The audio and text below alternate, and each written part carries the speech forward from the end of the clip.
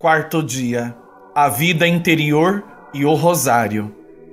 A vida interior, diz o autor da imitação de Jesus Cristo, é o estado de uma pessoa que se conserva recolhida em Deus e não tem nenhum apego às coisas do mundo, podendo se acrescentar e que imita nisso a Jesus Cristo. Que belo espetáculo seria, aos olhos de toda a corte celeste, considerar o interior do homem-deus. Nesse interior não houve divagação de espírito, nem desvio da imaginação, nem dissipação dos sentidos, nem revolta das paixões. Tudo era ali perfeitamente regulado, coordenado, submetido à divindade.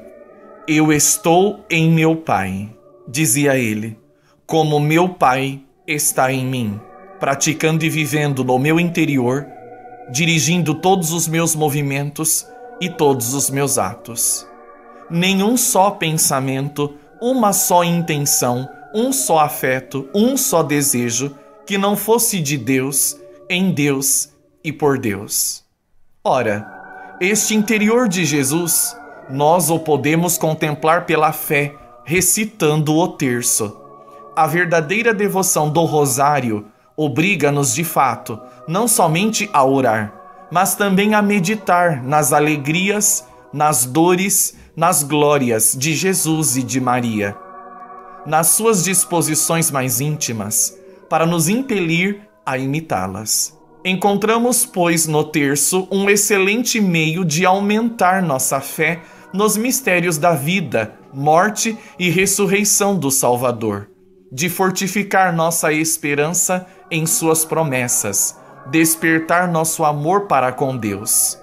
Três efeitos que nos farão progredir na união com o sumo bem sob o modelo de Jesus Cristo. Não foi assim que muitos santos chegaram ao mais alto grau de santidade? São Domingos, proclamado por Leão XIII um herói, grande pela integridade de sua doutrina pelo exemplo de suas virtudes e trabalhos apostólicos. Santificou-se principalmente por sua devoção à Divina Mãe, dispensadora das graças da redenção. Desde sua mais tenra infância, amou-a ardentemente, tendo sempre seu nome no coração e nos lábios. Derramava lágrimas, invocando-a, honrando-a e agradecendo-lhe. Desejoso de imitar suas virtudes, jamais a esquecia, procurando conformar-se à sua vida santa, a mais semelhante à de Jesus, modelo dos predestinados. Repetia muitas vezes essa invocação que a Igreja põe nos lábios de seus sacerdotes.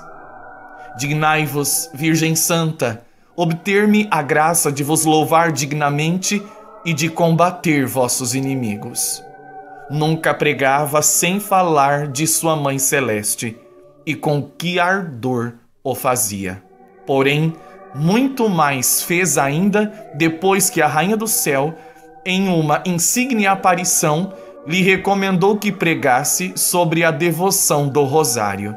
Suas palavras, seus exemplos espalhavam em redor de si um perfume tão poderoso de dedicação à Mãe da nossa salvação que não somente seus religiosos, mas todos aqueles a quem evangelizava sentiam um inexplicável desejo de honrar esta bem-aventurada Virgem por meio do Rosário. Graças a este novo método de pregar, diz o Papa Leão XIII, a piedade, a boa-fé e a concórdia começaram a enraizar-se e os projetos dos hereges e seus artifícios a cair em ruínas. Porém, se o bem que fez São Domingos ao redor de si foi imenso, que proveito não tirou sua alma desta excelente devoção? Depois de ter aprendido da própria boca da Virgem Sapientíssima, divina mestra da santidade, chegou a ser, sem dúvida, o mais esclarecido de todos os homens na ciência do Santíssimo Rosário. Que noites deliciosas empregou, depois de seus rudes trabalhos, saboreando a doçura da oração dominical e da saudação angélica, tecendo coroas para sua amada rainha e colhendo nas flores tão variadas dos mistérios o mel das mais puras afeições, a união com Jesus e Maria. Isto é, sem dúvida, o segredo de Deus. Porém, como o fogo oculto se manifesta da chama que para fora lança, assim o zelo de São Domingos em pregar o rosário, em ensinar aos outros o modo de o rezar com fruto, os sucessos prodigiosos de Sua palavra, que santificou tantas almas. Tudo isso nos mostra a intensidade do fogo que ardia em seu coração e se comunicava a milhares de hereges, pecadores e fiéis. Daí podemos concluir que o Rosário foi uma das fontes principais da santidade de Domingos. Queremos nós aproveitar do terço no interesse de nossa vida interior? Dirijamo-nos a este grande santo. Ele recebeu o Espírito da graça e da oração em tal grau que muito nos pode dar da sua superabundância.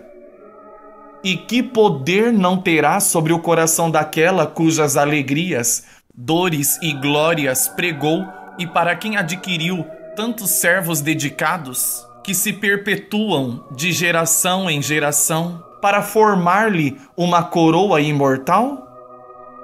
Depois de São José, peçamos a São Domingos que nos ensine a meditar os mistérios da nossa redenção, a tornar-nos cada dia mais fervorosos, mais desapegados do mundo e insaciáveis de Deus. Dignai-vos, Virgem Santa, obter-me a graça de vos louvar dignamente e de combater vossos inimigos. Mas como louvar-vos dignamente, ó Maria, se eu não sou como Domingos, esclarecido pelas vossas luzes, purificado de toda mancha, livre de toda inclinação perversa e resolvido a não procurar neste mundo senão a vós e a vosso amável Filho? Como poderia facilmente chegar minha súplica a vós, se ela parte de um coração tão enfraquecido pelas afeições terrestres? Como aplicar-me seriamente à meditação dos mistérios do terço, se vivo habitualmente distraído e mais ocupado das coisas exteriores do que do regulamento de minha vida interior? Ó Virgem Clemente, e cheia de ternura. Dignai-vos comunicar-me algum raio dessa luz brilhante com que favorecestes a São Domingos e a tantos outros santos de sua ordem, a fim de que eu possa, como eles, enriquecer-me dos tesouros contidos no rosário e tornar-me agradável em tudo a vosso divino Filho e a vós. Ramalhete espiritual para nos santificarmos, seria bastante meditar a miúdo o Pai Nosso e a Ave Maria. Quanto mais se avivar a nossa fé nos santos mistérios da vida, morte e ressurreição de Jesus, tanto mais ânimo e coragem teremos para a prática do bem e exercício das virtudes. Mais nos inflamaremos de amor para com Jesus e Maria. Tomemos o costume santo de dizer interiormente à mãe espiritual de nossa alma: Ó Virgem Santíssima, ajudai-me a fazer como vós, a meditação, a santa comunhão, a ouvir a missa com as mesmas disposições que vos animavam ao pé da cruz, a trabalhar e cumprir as minhas obrigações com o mesmo fervor de espírito e com as puras intenções que vos dirigiam em Nazaré e durante toda a vossa vida.